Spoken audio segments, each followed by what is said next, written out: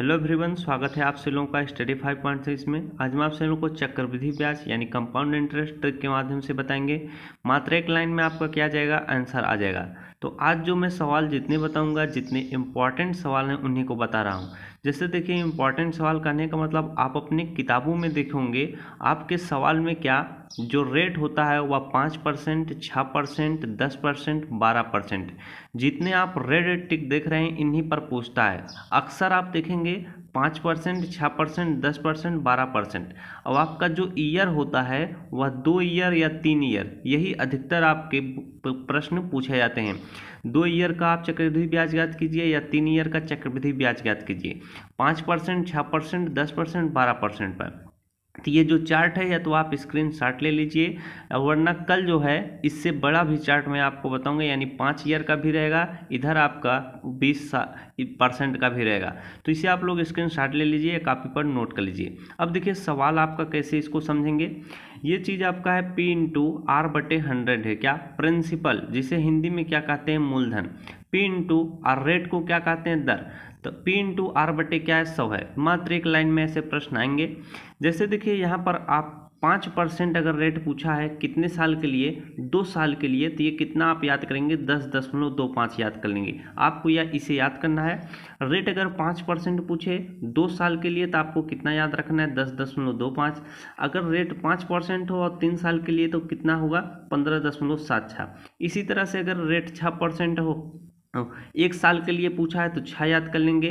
दो साल के लिए पूछा है तो बारह दशमलव तीन छः याद कर लेंगे। और आपका तीन साल के लिए पूछे उन्नीस दशमलव एक ज़ीरो लिख लेंगे। अब अगर दस परसेंट रेट हो और पूछा हो कितना दो साल के लिए तो इक्कीस याद कर लेंगे।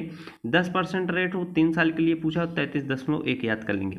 इस तरह से जितना रेट टिक है, उसे आप याद कर लेंगे। अब देखिए सवाल कैसे आता है। मान लीजिए प्रिंसिपल आपका कितना चार सौ दिया हुआ हो प्रश्न में, रेट आपका दस परसेंट हो टाइम आपका कितना हो? दो साल हो। तो यहाँ पर देखिए, इसी पर हम रख कर आसानी से सॉल्व कर लेंगे। यहाँ पर पहला प्रश्न है, आपके प्रश्न में प्रिंसिपल दिया रहता है, चार सौ दिया है। रेट आपका कितना है? दस परसेंट दिया है। टाइम आपका कितना है? दो साल दिया हुआ है। तो यहाँ पर आप देखिए प्रिंसिपल है तो प्रिंसिपल आपका चार सौ दिया है तो यहाँ पर आप क्या लिख लेंगे? चार सौ लिख लेंगे। इसके बाद गुड़े का चिन्ह है तो गुड़े का चिन्ह लगाएँगे। रेट आपके प्रश्न में कितना दिया है? दस परसेंट। और टाइम रेट और टाइम आपको देखना है। यहाँ से रेट और टाइम देख कर यहाँ पर आपको आसानी से सवाल को सॉल्व करना है। रेट आपका दस परसेंट दिया है तो दस परसेंट कहाँ है? यहाँ पर है। तो दस परसेंट आपने देख लिया। टाइम आपका कितना है? दो साल। तो यहाँ पर देखिए, दो साल दो साल आपका इसमें आएगा। तो दस परसेंट दो साल के लिए। तो आपको इक्कीस याद रखना है। कितना? इक्कीस। वही इक्कीस आपको क्या? यहाँ पर रख देना है। नीचे में देखिए, बटे सौ था तो बटे सौ आप कर देंगे। अब देखिए, इसे आप आसानी से काट कर सरल कर लेंगे। दो ज़ीरो से दो ज़ीरो कट जाएगा। चार का गुड़ा इक्कीस में करेंगे। चार इक्के चार हो जाएगा। चार दूना कितना हो जाएगा? आठ हो जाएगा। यानी ये आपका कितना? चौरासी आ चुका है। यही आपका फाइनली क्या हो जाएगा? आंसर हो जाएगा। अगर आपके सवाल में प्रिंसिपल चार सौ दिया हुआ रेट दस परसेंट दिया है टाइम दो साल दिया है और आपसे पूछे कंपाउंड इंटरेस्ट बताइए। तो कंपाउंड इंटरेस्ट कितना होगा? चौरासी आ जाएगा। इस तरह से सवाल लगेंगे। दूसरा प्रश्न आप लोग ध्यान से समझिए। दूसरा सवाल देखिए, इसमें जो प्रिंसिपल है, एक हज़ार है रेट आपका पाँच परसेंट है टाइम आपका कितना है, तीन साल। तो इसी पर हम रख कर आसानी से इसको भी सॉल्व करेंगे।